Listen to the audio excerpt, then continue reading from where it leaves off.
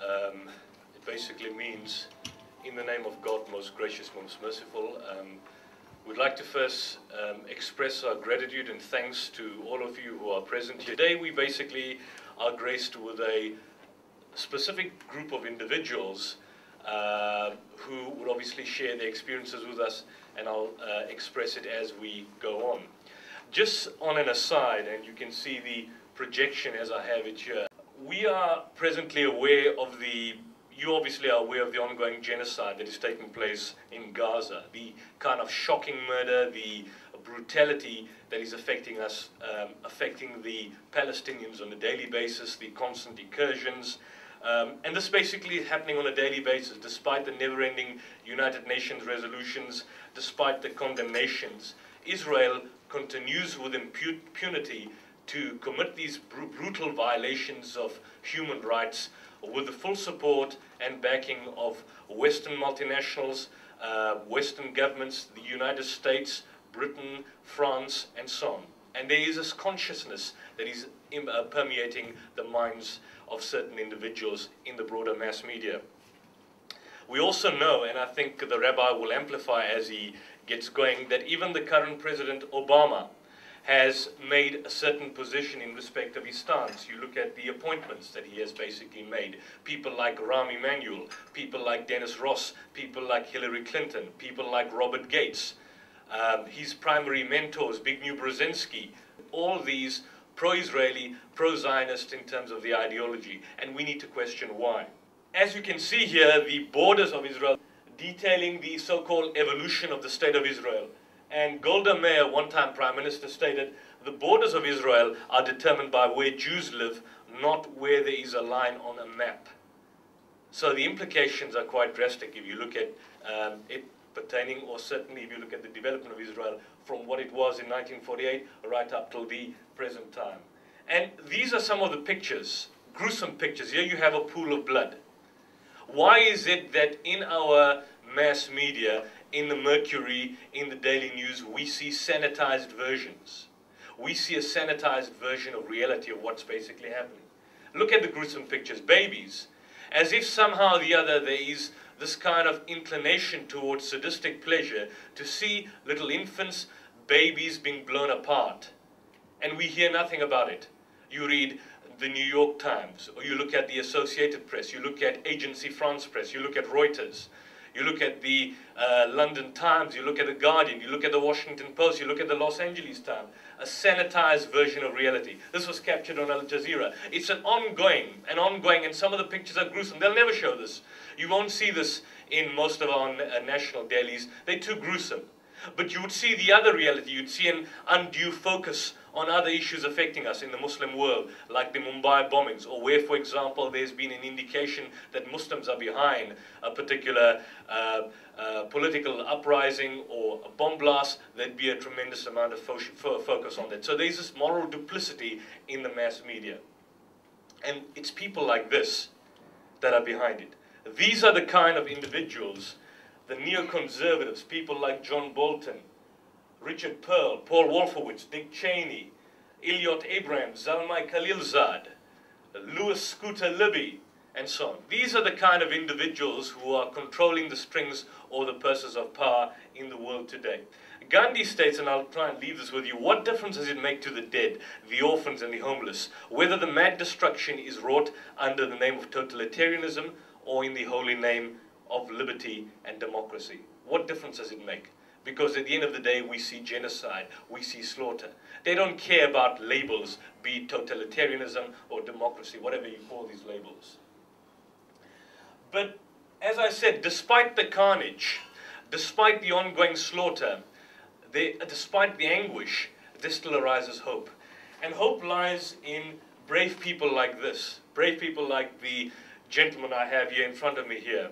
This was, I believe, a picture outside one of the buildings, if I'm not mistaken, in New York. Rabbi Weiss will, in fact, inform me on that. People who stand up, make a stand. And this is what the Quran asks for. It says, stand up for justice, even if it may, may be against your own next of kin. And that's what these brave Jewish gentlemen who are ultra Orthodox Jews. They do not reject the tenets of Judaism. They are not an aberration. They go strictly by the letter of the law, and they emphasize and inform us that what is going on is against the primary tenets of Judaism. Uh, take great privilege to share the platform with him, Rabbi, uh, if I pronounce it correctly, and forgive me for mispronunciations, Yisrael David Weiss. Um, he was, in fact, a descendant of Hungarian Jews. He's, he's, um, his parents, in fact, were survivors of Auschwitz. I, I'm given to understand that his grandparents and his uncle and his immediate relatives were lost in the Second World War. Uh, his father, I'm told, apparently hid in a cellar during the Nazi occupation, during the rise of the Third Reich, and subsequently immigrated to the United States. So we've got someone who's a descendant of Holocaust survivors. The topic, as you had seen advertised, Israeli Zionism, is it set up for spiritual destruction? Um, and then, of course, thereafter, we would have an interactive question and answer session. We believe, and this is a policy of the IPCI, we don't have a talk down approach. We always believe in engaging with the public. You are our equals. If there's anything that you wish to question, you wish to raise, there will be no taboos. You raise these issues with the rabbi, he would be more than willing to answer them, and we will therefore proceed. Uh, with God's help, the help of the Almighty, I pray to the Almighty that He should bestow upon me His truth, His wisdom, uh, and that I should be worthy of conveying this truth to this esteemed gathering, uh, and that we should together be able to convey this to the world, God's truth, and uh, so be, we should be able to sanctify His name and bring uh, peace to the world as God's name is peace. And uh, this should be a beginning, I hope, of, of uh, rectifying uh, the terrible, tragic happenings that we're seeing today. Uh, I mean, Assalamu alaikum to all of you. With God's help, the subject of this uh, program, I was told, is, is Israel Zionism, is it set up for spiritual destruction? And um, first, of course, I have to thank the IPCI for uh, arranging this, for allowing this to take place. This is a great uh, privilege to be able to speak and take away the stain from Judaism, to take to uh, to sanctify God's name. So it's I'm uh, very, very thankful for this. And uh, of course, uh, my new friend that I met here, Yusuf Ismail, and and Arif Islam for, for really making this happen. God should help. They should be able to uh, attain what they're aspiring to do God's will. The subject matter is, of course, as we all understand, is a very, very intense, very complicated uh, subject. It, it, it is, a, uh, it is a, a, subject that uh, we're dealing with for over a hundred years. If anybody, uh, I'm sure you're all aware that Zionism is not 60 years. Uh, since the state, only it is uh, really uh, well, it's over 100 years it's, since the people started going up from this movement to the, to the Holy Land, to Palestine. And the, con the concept, the ideology behind all of this is, is another 30, 40 years. So basically, we're talking over 100 years. And um, uh, we have to, so, so it's not something which usually you can be able to really understand to totally, put in its proper perspective, um, take apart each of the uh, problems and all the facets of what uh, entails in, in, a, in an issue that is such a broad and such a long period of time as such a, uh, an issue. But with God's help, uh, God can do anything, and God should put the words into my mouth. And the important thing is really just to open, uh, shed a light, to open a window, an opportunity that people should be able to go from here and further study, study the subject. Uh, we never say to a person, of course, you know, accept my truth. What we're saying is that we want you to see something that you should be able to go and search the truth and come to your own conclusions with God's help, the, the, the question was Israel Zionism, is it set up for spiritual destruction? Uh, uh, that in and of itself is, uh, is for the very religious Jewish community, is uh, showing, and God, and forgive me, uh, Pete, I, I don't want to be insulting to anybody, but it shows already a lack of understanding of what has happened in the Jewish communities universally, because uh, it's not set up as if it hasn't happened for a spiritual destruction. Um, the destruction since Zionism has come into fruition, it has destroyed. It has destroyed. Um, maybe today we're talking um, of millions of millions of Jewish people. It has totally destroyed them.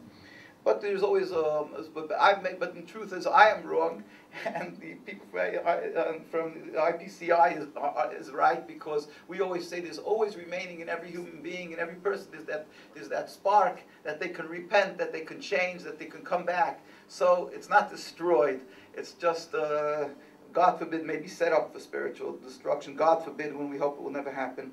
Um, let us get to the subject. Let, us, let me try to explain we'll try to take it a little bit with God's help, step by step, that we should, one should comprehend the the issue because sometimes if you just go and you start talking about problems, which is the the, the world approach to the state of Israel, you have um, the, and the Palestinians, and they're constantly putting band-aids and uh, patching and giving cortisone and medicine and uh, on on the problem.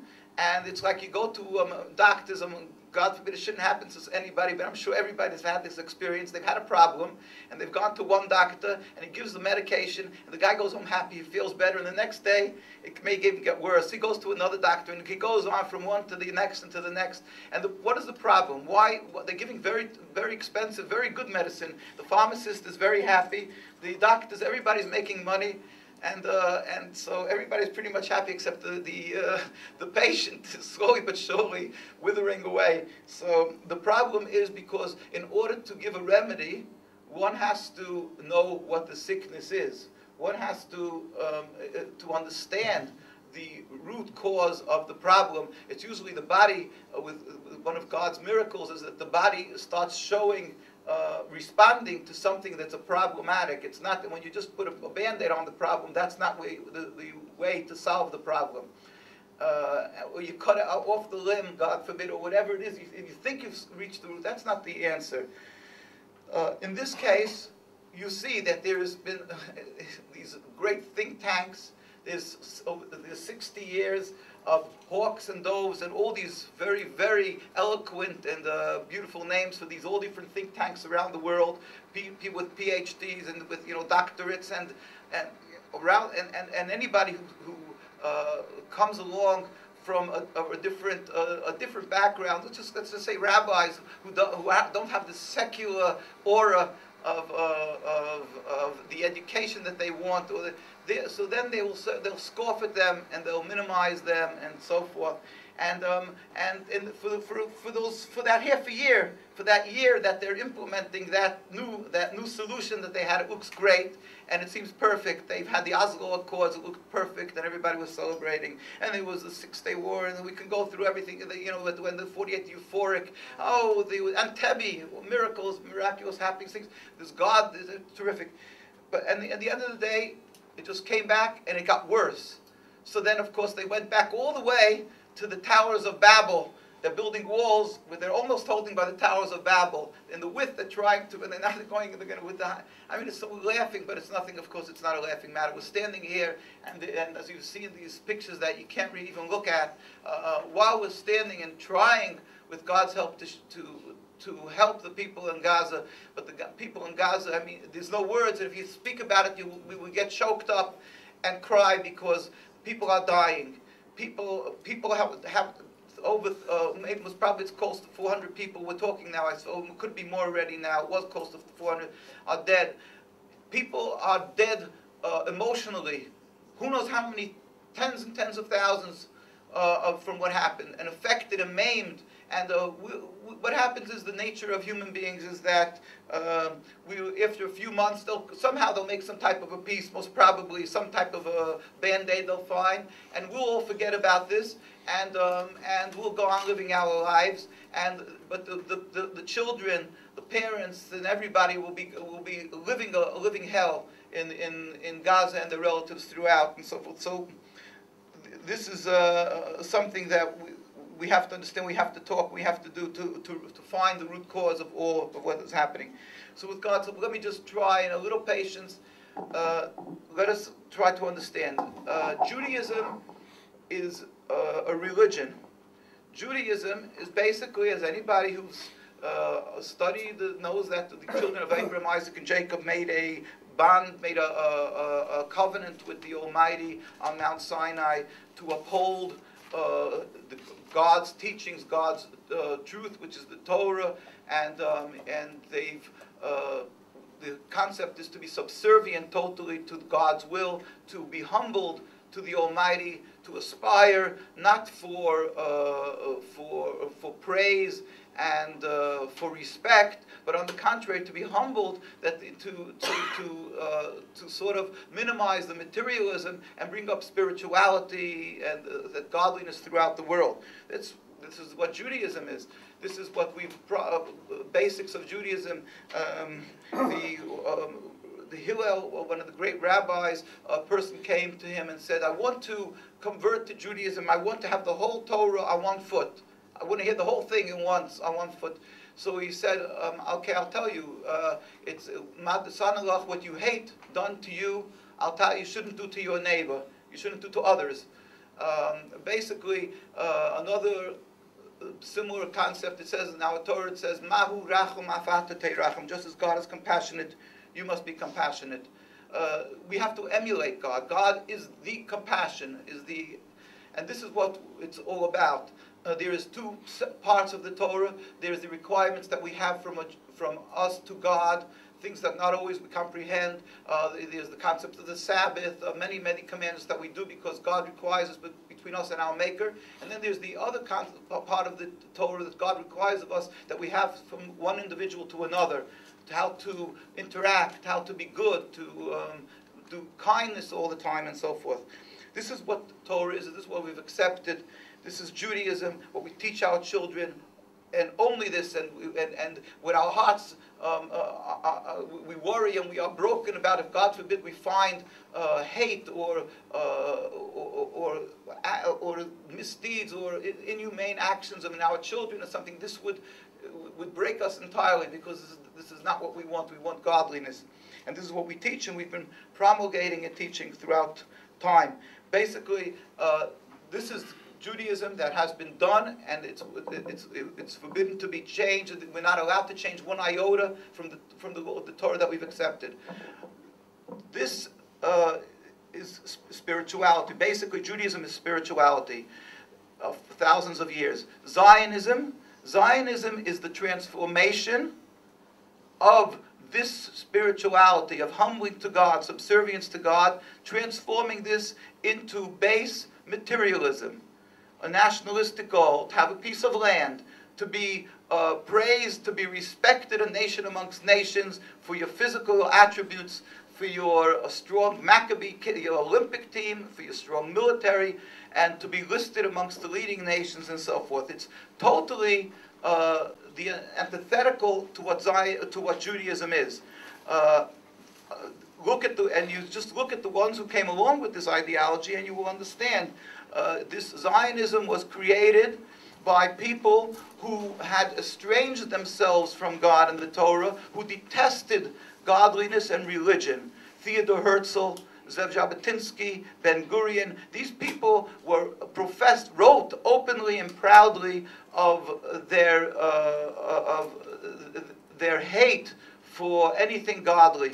And uh, we, I'll just quote two or three little just uh, anecdotal statements of their own, of Zionists, so you should understand that, you know, again, that it's not just um, what they would say, our hate mongering, because we, have, we just want to let you go study it for yourself, see what we're talking here. Um, so this is what the difference is. Judaism is religion, Zionism is materialism, nationalism. Created uh, it's a mere hundred and odd years. It's an ideology that is relatively new. Judaism is thousands of years old.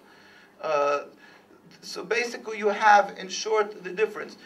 Nationalism, it happens to be, besides that, that in and of itself is antithetical and, uh, and understandably opposed by anybody who, who is uh, who represents Judaism, who, who who's uh, fathers of communities who want the Jewish people to be God-fearing. They oppose that, understandably. Uh, and looking at the people who are pushing this plan, of course, you oppose them. Um, Theodor Herzl, for instance, wrote in his own diaries, it's there for everybody to see. In page 14, he writes A way to solve the problem of anti Semitism is to speak to the head priest of Vienna, to get an appointment with the Pope, to make a mass conversion of all the Jews of Austria to Catholicism. That is, again, a solution to solve the problem, to make Jews simply drop their religion. He continues, it should be done on a Sunday, in the middle of the day, with music, pride, publicly. We are the last generation to, that held on to the faith of our forefathers. So he, there is somebody who, who is the father of a movement that's taking the representation of, uh, of, of the, the religion Judaism and, and using it till today, they consider themselves the representation of Judaism. Um, and then, just in case you think that he somehow he was drunk when he wrote that, but in a, the biweekly Tamura, which is on page 1213, he wrote, I didn't circumcise my son Hans, and this will bring, bring the redemption closer. I mean, he's, uh, the covenant, one of the basics of the covenants we know is the circumcision, and Jews gave their lives to be able to carry out that. We just went through the holiday of lights with the reason, the whole concept of Maccabees. I don't know if time will allow, we'll get into that. The Jews were under the Greeks and they accepted being under the Greeks. So the only time that they stood up and opposed it was when were, there was a decree that they cannot observe the Sabbath or make do circumcision punishable by death. Then they stood up, and who stood up? A few old rabbis, and they had a miraculous happening. Uh, so, and here he did, he had, nobody was stopping him except himself. And nobody will refute the fact, it's in their own writings, that he had a, one son, and till the day of his death he didn't circumcise him. The one, um, Zev Jabotinsky, uh, who was the one of the well-known leaders of Zionism, the uh, uh, uh promulgators uh, of this movement, and was the mentor of Menachem Begin, wrote in, in 1919, uh, Haaretz uh, newspaper, he wrote, in the national home that they're aspiring to have, we will announce that those Jews who have on themselves the rust of Golas, that means of exile, and deny to shave off their beards and payas, their side locks, will be second class citizens and will not have the right to vote. I mean, this sounds like a Nazi. It sounds like from Ku Klux Klan, or somebody who has this Aryan view or something like that. In fact, there's a, a very famous rabbi in, the, in, in, in Palestine, one of, uh, who has many, many followers, who uh, has a tape about this. And, he, and he, he usually, what he does is usually he starts a speech. He says, I want to quote a few quotes. I want you to tell me who said these quotes. And so he says, Hitler, you know, somebody, you know, this, uh, and, and, and he says, no. No. And he goes through, he has a bunch of things. these, we have this, many, many such um, issues. And Ben Gurion, just to round it off, um, um, Ben Gurion, uh, who was the first prime minister, uh, said, in, in, he said that if I could, when the Jews were being